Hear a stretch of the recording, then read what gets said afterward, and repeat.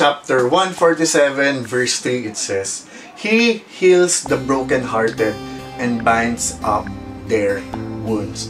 He heals the brokenhearted and binds up their wounds. Kapatid, sa moment na nanonood ka ngayon, sa moment na pinapakinggan at pinapanood mo tong stream natin ngayon, I have a question for you. Are you broken right now? Or meron ka bang feeling na certain area or aspect sa buhay mo na merong feeling of brokenness? Ikaw ba to? Na kung ikaw to at ako to at tayo to, kapatid, I have good news for you. Because itong reflection message na to ay binigay at hinanda para sa atin ni Jesus. Kaya I want you to listen and open your heart 110% sa bawat salitang matatanggap mo. Amen? At kung feeling mo um, broken ka at ang tagal mo nang hindi na-unload, ang tagal mo nang hindi nilalabas, kapatid, I invite you na i-comment down below ano yung certain area ng buhay mo na broken ka. Tapos ano yung tapos sa dulo nun, ito yung gusto kong sabihin at surrender ko kay Jesus. Kasi kapatid, sa moment na nag-comment ka, merong sasagot sa'yo dyan at ipagdadasal ka. At kung feeling mo naman medyo kailangan pag-usapan and everything, pwede mo akong i-PM sa mga social media accounts na ito. Yan.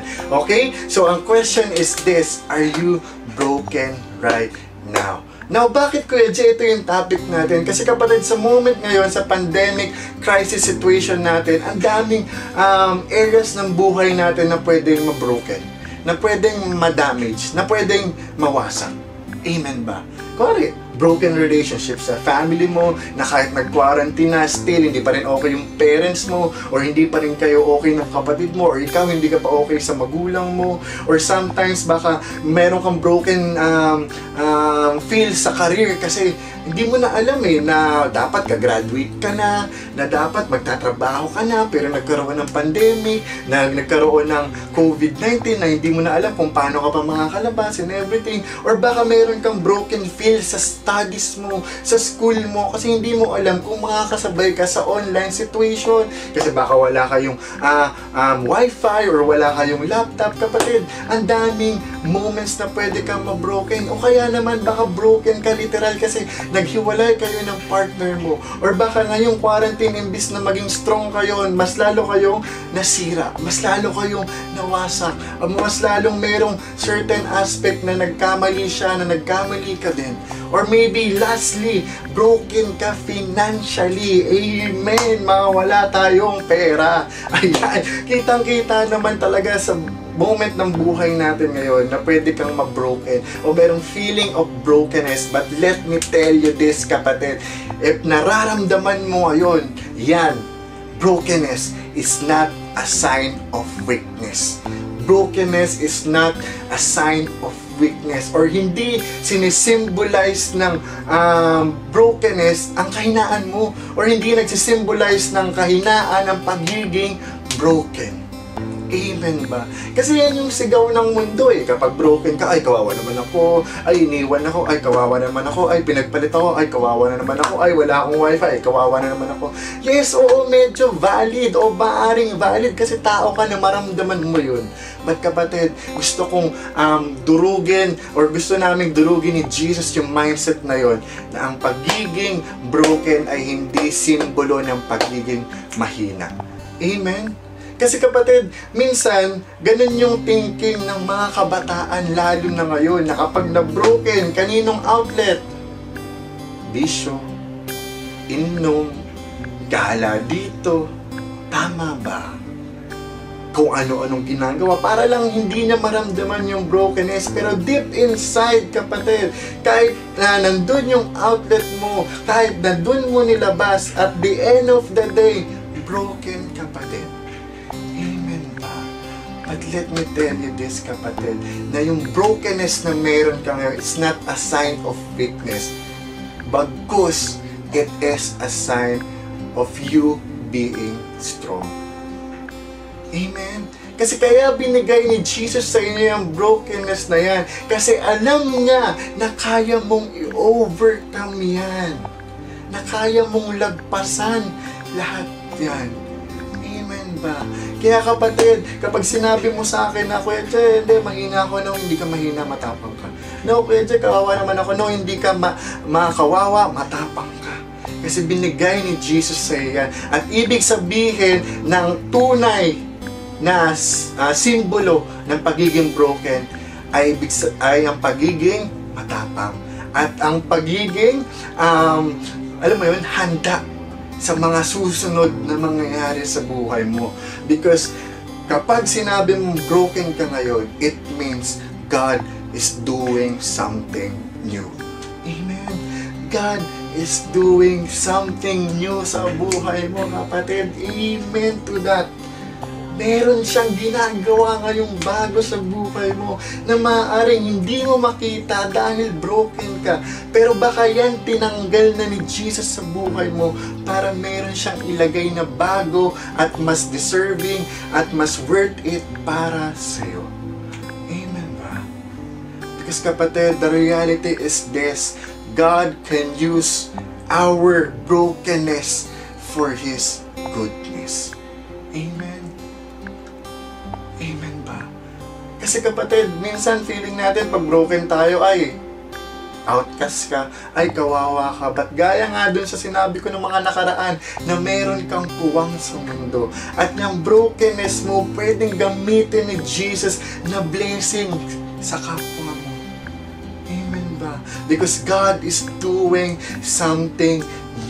At kahit anong mangyari kung feeling mo, Lord, bakit ganito, ganyan, ganito pa rin, kapatid. Minsan, part ng um, process ni Jesus na dudurugin ka niya. Nawawasakin ka niya, nasisirain ka niya. Kasi ganun din yung ginawa niya kay Jacob. Yung, inano yung hip, di ba? Talagang tinira ni Jesus yung hip ni Jacob para talaga maramdaman niya na walang-wala ka. At sa moment na feeling mo, wala ka nang mapuntahan. At sa moment na feeling mo, walang-wala ka na, dun mo makikita yung goodness ni Jesus at kakapit ka sa Kanya. And siya lang yung tipong dudurugin ka pero hindi ka iiwan. Siya lang yung tipong sisirain ka pero hindi ka papabayaan. Siya lang yung tipong hahayaan niya maramdaman mo yung sakit sa brokenness na meron ka pero lagi kanyang aalagaan. Because that is Jesus. Ganun kalupit si Jesus sa buhay mo ngayon. Amen.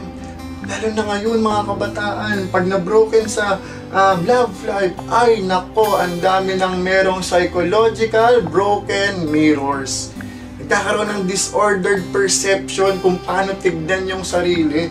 Which is okay lang, valid. Kasi pag pinagpalit ka, example, di ba parang feeling mo, yung capa- um, yung sarili mong confidence bababa, yung sarili mong worth bababa, yung sarili mong value bababa, or bababa rin yung tingin mo na pagtingin ng tao sa'yo, or tingin mo sa kapwa mo, or tingin mo lalo sa sarili mo.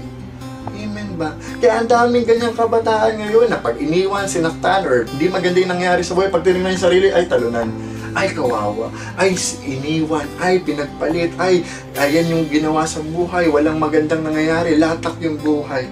But let me tell you this, kapatid, na kahit ganun yung label na bigay ng mundo sa inyo, na kahit ganun yung sigaw ng mundo sa buhay mo ngayon, kapatid, you are still a child of God.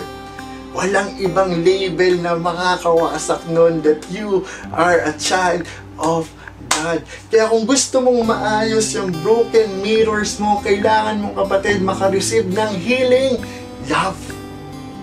At kung gusto mong maayos tong brokenness na mayroon ka ngayon, the first um, ingredients na kailangan mo is healing love. At kanino mo makukuha yun? Sa family, sa um, church, or sa sarili, at higit sa lahat, kay Jesus. Amen ba? In order for you to be fixed, kailangan mo mag-surrender. Kailangan mo mag-let go na hindi mo kaya. Because the reality is this, kapatid. God wants to fix you. Gustong gusto kang ayusin ng Diyos. Kahit hindi ka pa nagtatanong, alam niya na kailangan, na meron siyang kailangan ayusin sa buhay mo. But the question is this, willing ka bang magpaayos? Willing ka bang i-surrender sa Kanya ang lahat? Amen ba? Kapatid, I don't know kung nasan ka ngayon. I don't know kung anong pinagdadaanan mo. But malinaw dito na yung brokenness, brokenness is not a weakness. Yung brokenness is a sign of strength and being strong. And ibig sabihin ng God is doing something new. And God can use our brokenness to goodness. And God wants to fix you. Amen. At dahil dyan, meron akong kwento. Yan! Okay. Sa malayong paragatan sa Cavite, merong isang bata. Ang pangalan niya si Juan. Itong si Juan, yung tatay niya nasa abroad. Tapos sabi niya, Dad, naks English, di ba? Daddy, pwede bang bilhan mo ko ng nauuso ngayon na iPhone 11? Ayan, syempre hindi naman to iPhone. Sabi niya, sabi, so sabi ng daddy niya, o sige, galingan mo muna sa school at bibigyan kita ng iPhone 11. At yun, lumipas. Ginalingan ni Juan, naging honor siya, lahat ng ah, achievements nakuha niya. At dumating yung araw na binigay ng tatay niya yung iPhone 11 kay Juan. At anong ginawa ni Juan? Nag ML. Kasi kaka season change lang. Tapos kaka-ML niya, dahil mga cancer yung kakampi niya, nahulog niya yung iPhone 11. At pagkahulog, be, boom! Basag ang screen. Siyempre si Juan natakot. Di niya alam, ano, paano ko sabihin sa tatay ko, paano ko papagawa to. So si Juan, gumawa ng sariling desisyon, gumawa ng sariling um, ng choice na hindi sabihin sa magulang niya, sinubukan niya magpagawa sa Quiapo. Sinubukan niya magpagawa sa monumento. Sinubukan niya magpagawa sa Baklaran. Sinubukan niya magpagawa sa Green Hills. Ay, sa lahat ng pinagawa niya, walang nakaayos sa iPhone screen na meron siya. Then one day, sabi ng tatay niya, Anak, nasa na yung iPhone 11 na binigay ko sa'yo? Siyempre si Juan kinabahan. Pero nakapag-decide siya na sabihin niya yung totoo. Si surrender niya, ile-let go niya yung totoo sa tatay niya. Sabi niya, Dad, sorry, nasira ako po. Siyempre yung tatay, ha? Paano nasira? Kunento ng anak, and everything. Tapos din ng anak, Dad, trinay ko namang ipagawa sa iba, pero ayaw talaga. Ayaw hindi magawa. Hindi ko alam kung bakit hindi nila magawa. Kaya sa magagaling na technicians, ayaw pa rin. Then sabi ng daddy niya, alam mo sabi ng daddy niya, Anak, ba't kasi kung san-san mo dinadala yung broken na cellphone mo ngayon? Bakit kung saan-saan store mo dinadala yan? Bakit hindi mo dalhin mismo sa Apple Store? Tignan lang natin kung hindi nila magawa yan. What's the point, kapatid? Sometimes, yung cellphone parang yung puso natin. Sometimes yung cellphone parang certain area ng buhay natin na mayroong sira. Tapos tayo, dahil gusto nating maayos, dahil talagang um, gustong gusto natin na maging okay na to, kung saan saan natin dinadala. Tama ba? Kung saan saan natin pinapapunta, kung saan saan natin gustong ipagawa. Pero kahit nasabihin natin magawa nila, hindi yun long term. Short term lang. Because kapag mayroon kang broken na puso ngayon at gusto mong ma-fix in all aspects kapatid, wala kang ibang pupuntahan kundi si Jesus. Wala kang ibang pupuntahan gaya ng sabi ni Brother Rex, yung manufacturer mo. Kasi kung ano-anong isasalpak sa yan, kung sino-sino lang pupuntahan mo. Pero si Jesus, alam na alam niya kung anong kailangan mo. Because sa certain areas ng buhay natin, sa certain areas ng puso mo kapatid, sa puwang na kulang dyan para maayos ka, we have a God-shaped hole that only Jesus can. Amen? Kapatid, God wants to fix you. Hindi pahuli ang lahat. Give yourself a chance and give God a chance na ayusin. Amen? Come on, let's close this with a prayer.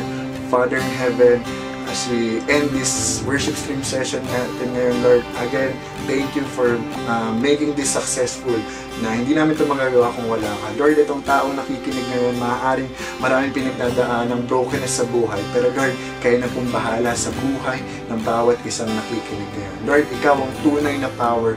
Ikaw ang nakakaalam ng miracle na kailangan nila ngayon. Lord, I pray and I extend yung um, prayers ko para sa lahat ng broken people na makikinig ngayon, our person na makikinig ngayon na hilumin mo sila at turuan mo rin silang maging humble para isurrender lahat sa iyo. Yun lang po, Lord Jesus, maraming maraming salamat po. In the Father, the Son, the Holy Spirit, Amen.